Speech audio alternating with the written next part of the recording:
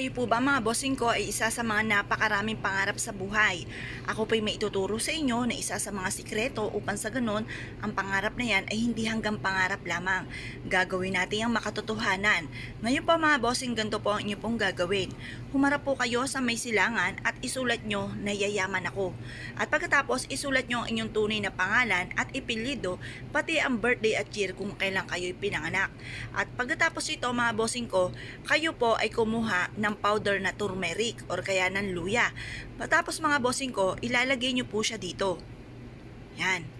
Pagkatapos po nito mga bossing, ibubulong nyo po dito sa papel na ito na may nakasulat na pangalan po ninyo at saka ganun din po ang inyo pong birthday at year kung kailan kayo pinanganak na may nakasulat na yayaman ako, ibubulong nyo po dito na sa pamamagitan nito at bukod sa sipag at tiyaga at pananalig sa mahal Panginoon, ako'y magiging matagumpay sa buhay at lahat ng mga pangarap ko ay matutupad. Banggitin ang lahat ng mga pinapangarap po ninyo. Or kung kayo ay may negosyo, sabihin nyo, dito sa aking negosyo, ay dito na ako yayaman.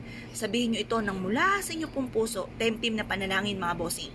At pagkatapos ito mga bossing, tupiin nyo po ito at sunugin nyo po ito mga bossing na nakaharap ka sa may silangan.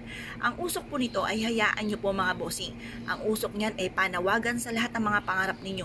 At habang nalilipad ang apo, abo at nangangamoy po yung turmeric, yan po mga bossing ko yung nasusunog na turmeric ay nagtataboy ng mga kamalasan mga bossing para mabilis yung ma-achieve ang lahat ng mga pangarap po ninyo.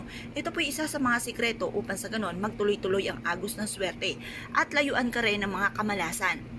Gaya ng halimbawa, lapitin ka ng mga taong chismosa, pakalimera, inggitera. Yan po mga bossing ko yung mapapansin ninyo na mas magiging magaan ang daloy ng swerte at lahat ng mga kamalasan na pinagdadaanan ninyo ay mawawala na sa buhay ninyo. Kaya kung kayo po'y naniniwala sa mga gatong pamamaraan, ay mainam na huwag ka na magpatumpik-tumpik pa at subukan nyo po itong gawin. Kaya kung kayo po'y naniniwala, good luck po sa inyong lahat!